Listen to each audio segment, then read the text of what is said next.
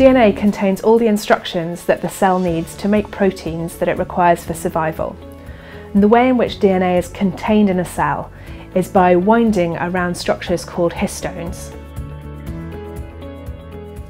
Enzymes can alter the way in which these histones are coiled or uncoiled together, and one of these enzymes is called a histone deacetylase enzyme. And drugs have been developed which can inhibit this enzyme and therefore control the accessibility of genes within the cell.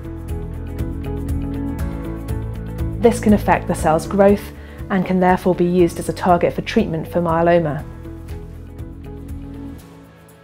An HDAC inhibitor called panobinostat is available for treatment of myeloma patients in the UK and is given to patients who've had at least two prior lines of therapy.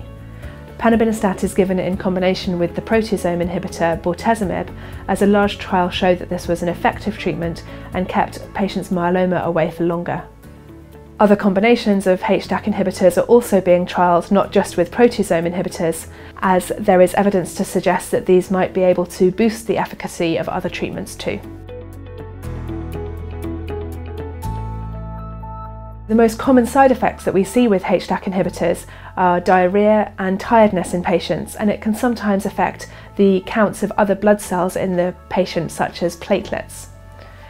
Therefore, new HDAC inhibitors are being developed with the idea that these might be more specific at targeting the histone deacetylase enzymes and therefore reduce side effects. One of the new HDAC inhibitors that's being investigated is called rocilinostat, and this is a much more targeted inhibitor. Early clinical trials using this drug suggest that it might be effective and was very well tolerated by patients.